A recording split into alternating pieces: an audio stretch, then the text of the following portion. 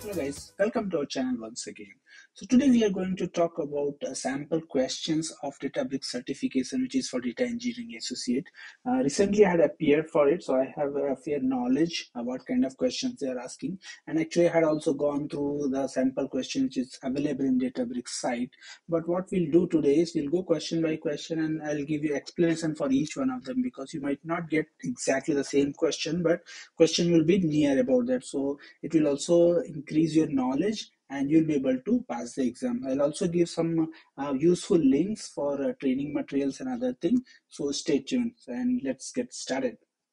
So let's get started. Uh, what I have here is a question paper which has about 45 questions. It is provided by Databricks and it is really useful. It actually gives you idea what all things uh, you have to cover as part of this exam. And there was some question actually came from this also. So I will go one by one and I'll give you, I'll try to give most of the explanation, right? Uh, let's start with the question number one. So what it says is which of the following describes a benefit of a data lake house that is unavailable in traditional data warehouse. So if you go through go through the answers, the first answer says data lakehouse provides a relational system of data management. So uh, this is not the strength of a data lakehouse. Actually speaking, this is one of the weaknesses that you cannot create relational system. So that is not the answer. Data lakehouse captures snapshot of data for version control purposes. So yes, it does has capability in terms of delta table to capture the snapshot and the versions. But again, this is not their uh, main offering. If you go to C option says data lake house couple storage and compute for complete control. That is, this is also not correct answer because compute is their major offering. Uh, it does have storage in terms of uh, DBFS, but the storage is mainly from the client side. So you'll have to either use AWS storage or Azure. So that will also not be the answer. Uh, D says a data lakehouse utilizes proprietary storage format for data. That is also not correct because mostly it uses uh, Parquet or Delta format and both of them are not proprietary. And E says a data lakehouse enables both batch and streaming analytics, which is actually most appropriate here because in, when you are using Delta table or even other uh, um, Spark APIs, you can use it for both batch as well as streaming. So that is the most appropriate answer. So if you look at the answer, it, this question paper also has the answer, so you can actually tally it. So uh, the purpose is not just to get the answer, right? The purpose is to know why that answer is appropriate and why others are not correct. So E is the right answer here. Now the second question says which of the following locations host the driver and worker nodes of a Databricks managed cluster. It says data plane, control plane and this thing. So uh, before you can answer this, right, this is very important to know and this was one of the question asked to me in one of our interview also. Uh, so we need to know a little bit about the data plane and control plane. So I'll give you a glimpse of that, how it distinguishes. So if you can see this screen, this is from the Databricks documentation. It clearly uh, shows what is Databricks cloud account. If you see the blue part of it, this is a control plane and this green part completely is a, a data plane. So what all things are under control plane? So Databricks web application is in control plane. Uh, customer notebooks are also stored in control plane. Uh, jobs and queries, which it is executing, that is also in the control plane. Cluster management is in the control plane. Now, what is there in the um, your data plane, right? Data plane has the data plane in customer network. So all the processing which is happening, the clusters, the, all the clusters which we have created, that is sitting in our uh, data plane. Apart from that, the data set which it is fetching as part of processing, right? That also comes back to uh, data plane. So the important thing is that you need to have this thing in your mind because this question may come in a different format. It may say that okay customer notebook where does it sit? Whether it's data plane or control plane. Or they may uh, the question may be right okay jobs and queries which plane it uh, it comes in right? So this is an important picture you need to understand and uh, remember this right? Now if you, let's come back to our question. So here our question says um, where does our driver and worker nodes are sitting, whether it's data plane or control plane, right? Now, if you go back again um, to this architecture, it says cl uh, clusters are in data plane. It's not in control plane. So don't get confused. Uh, it says cluster management. So cluster management is in control plane, but actual clusters are in data plane. So the answer will be the data plane, which is answer is A to A. Now the third question says data architect is designing a data model that works for both video-based machine learning workload and highly audited batch ETL. So here again they're talking about both kinds of load, uh, streaming as well as batch. So which of the following describes how using a data lakehouse can help the data architect meet the needs of both workloads. So option A says data lakehouse requires very little data modeling. So this is not the appropriate answer because they're not talking about the modeling and modeling again is not the strength of uh, lakehouse uh, data lakehouse combines compute and storage for simple governance. Again uh, we saw that in the previous questions also. So storage is not part of that compute is the main component here. Data lakehouse provides auto scaling for compute cluster which is correct. Auto scaling scaling is there it's not wrong. But here they're talking about both kinds of load right? Where they have streaming as well as batch so let's see the other option. Uh, the d says uh, a data lakehouse stores unstructured data and is ACID compliant. So this is correct. This is one of the strength which uh, um, Databricks is always highlighting and selling in terms of delta. The delta is ACID compliant. So this looks very appropriate, but let's see E. E says a data lakehouse fully exists in the cloud. Yes, that, that is correct. It fully exists in the cloud, but uh, it can also. Be... So here uh, I'll say one more thing that in few questions you might feel like there are uh, some more than one answers are appropriate, but you'll have to choose the most appropriate. Right? Now question number four says, which of the following describes a scenario in which a data engineer will want to use a job cluster instead of an all-purpose cluster. So here we'll have to understand the difference between all-purpose cluster and the job cluster. So uh, if you have already worked in Databricks, you know that when you're creating a cluster, right, when you sorry when you're creating a cluster uh, that cluster remains unless you stop it terminate it or you have configured an uh, auto terminate right so that that cluster is called interactive or all purpose cluster. So those clusters are mainly used where you have to do some kind of ad hoc uh, queries or analysis your uh, BI team is using it, right, for querying directly to the Parquet file or your um, Databricks table. But when it comes to running a job, which is scheduled job, which has to run say every uh, 15 minute, 20 minute, or once in a day, right? In those cases, uh, you should always go for the job cluster. Job cluster is something which gets created on the fly as as soon as you trigger the job and as soon as the job is completed it will actually terminate it. So that actually saves um, uh, cost uh, in the in terms of cost job clusters are cheaper than the all purpose cluster. So whenever you don't need a cluster for a long time continuously uh, you should not be using uh, all purpose cluster. You should go for the job cluster. Now let's try to answer this question now. So uh, he says an ad hoc analytic report need to be developed while minimizing uh, compute cost, right? So minimizing the cost is correct, but if it's an ad hoc analysis, you will not want to create a job cluster, right? Uh, a data team needs to collaborate on the development of a machine learning model. So here also you would not be using a job cluster. So if you look at C, it says an automated workflow need to be run every 30 minutes. So this is appropriate place because it's a job which you will be running every 30 minutes. And after 30 minutes suppose the job runs for 2 minutes or 3 minutes or 5 minutes after 5 minutes it will automatically terminate and when the next time a job triggers a new cluster will be created. So answer c is the most appropriate here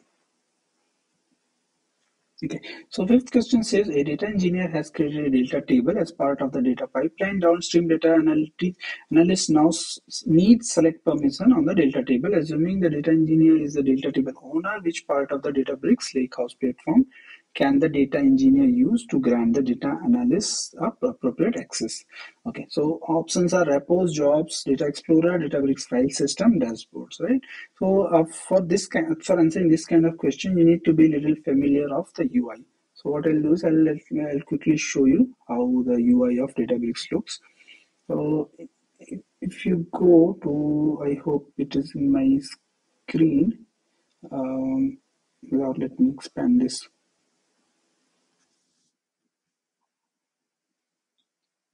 Yeah, so you, if you can see my screen uh, here, you'll see there are three different streams. One is data science and engineering, second is machine learning and SQL.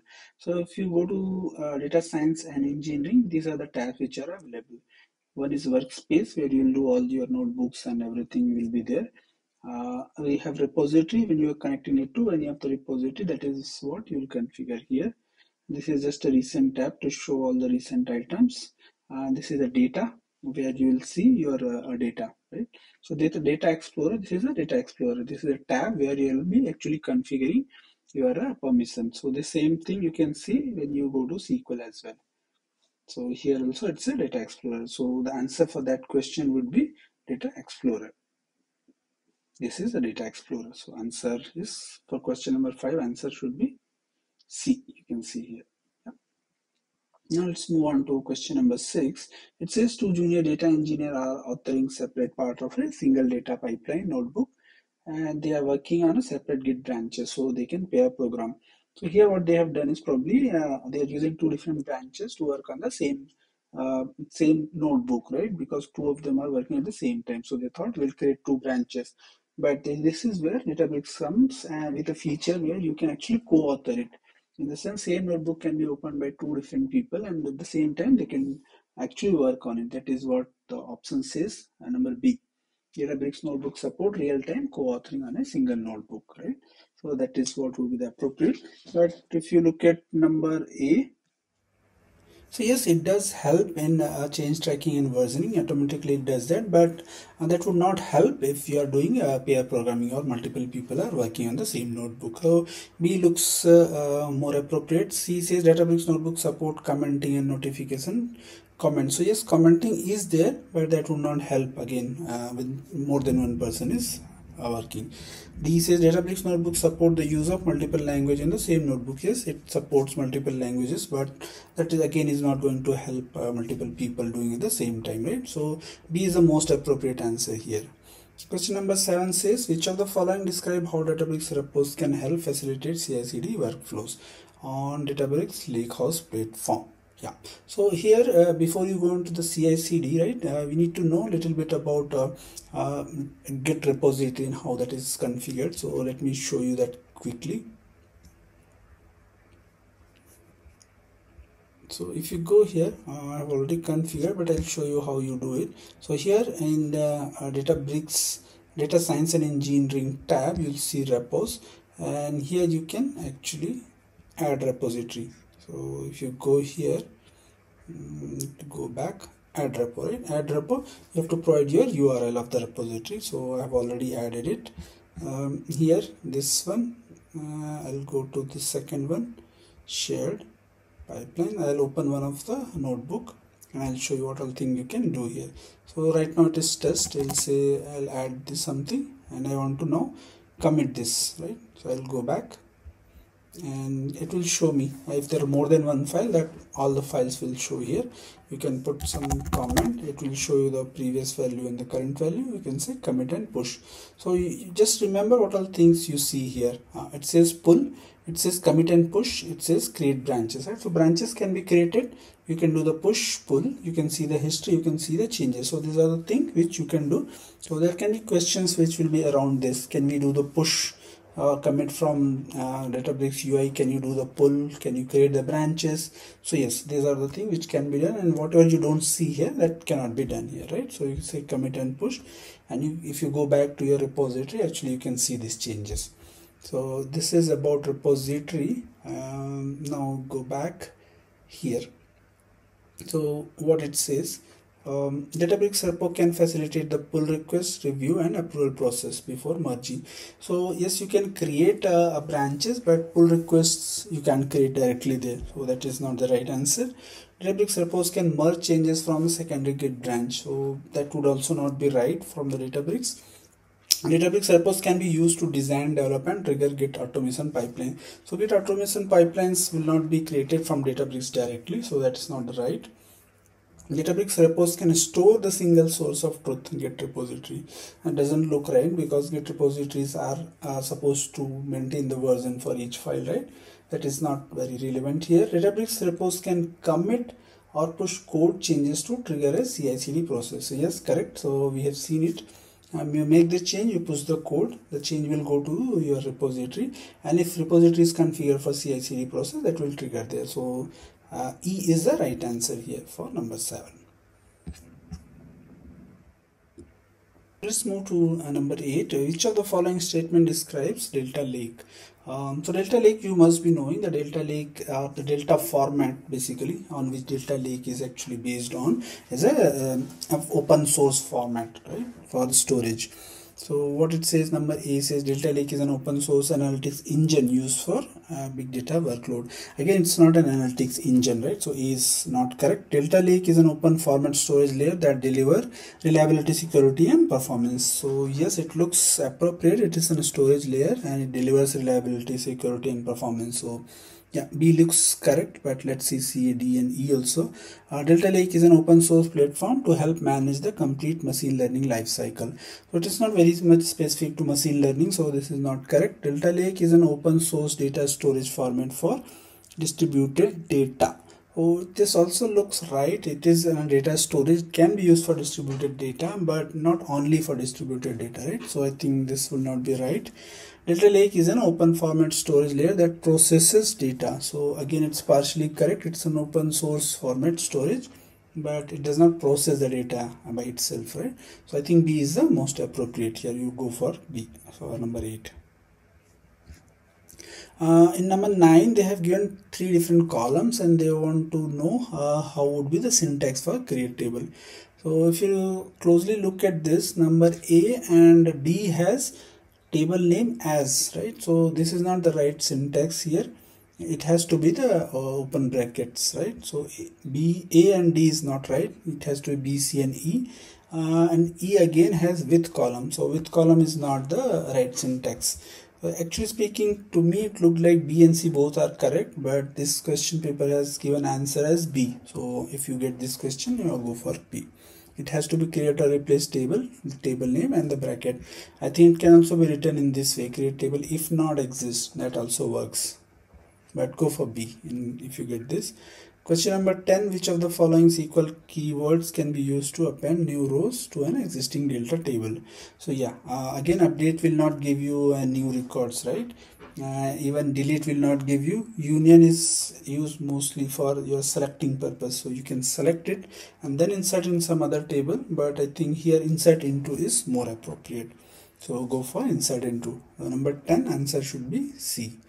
So i guess i see that this video is becoming a little longer. So what i'll do is i'll just break into into the parts and i would like to take your feedback as well. Yeah, so just give your comments uh, what uh, what what else you want to see in this? What you liked it and what you didn't? So we'll try to improve based on that. And if you like it just um, give a thumbs up comment it and share it with your friends. And don't forget to subscribe. So i'll upload this part one upload this as a part one and then come with the subsequent part two three and others. Thank you